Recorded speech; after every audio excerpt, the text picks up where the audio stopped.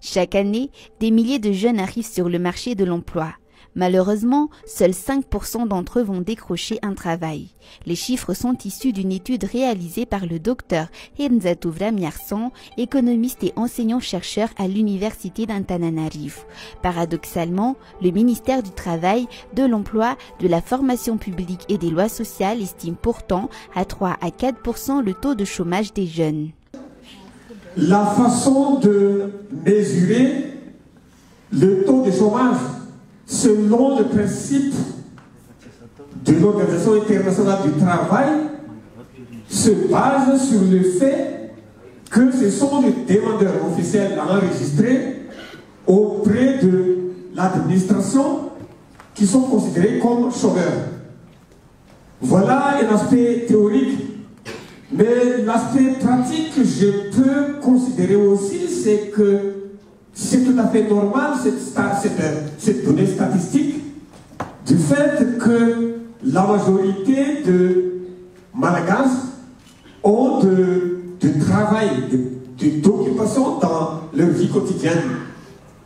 Si nous décidons que, par exemple, au niveau, en, milieu rural, près de 80% de la population réside au milieu rural, mais en milieu rural, je ne pense pas qu'il y a une personne en âge de travailler qui n'a pas d'occupation.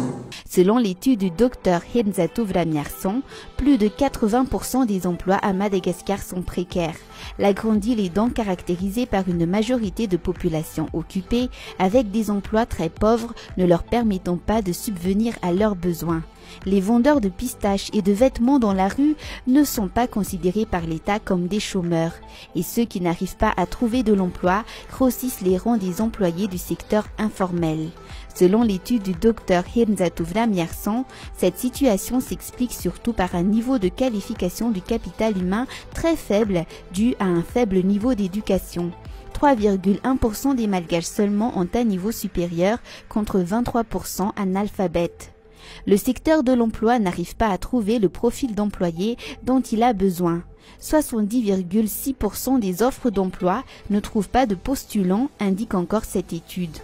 Parallèlement, le secrétaire général du ministère en charge de l'emploi indique qu'il y a seulement 34 000 offres d'emploi pour 500 000 jeunes arrivant sur le marché de l'emploi chaque année. Pour le docteur Hirnzatou Vramiarsan, c'est clair, Madagascar a raté le coche depuis six décennies successives. La, publication de, des lois ne suffit pas.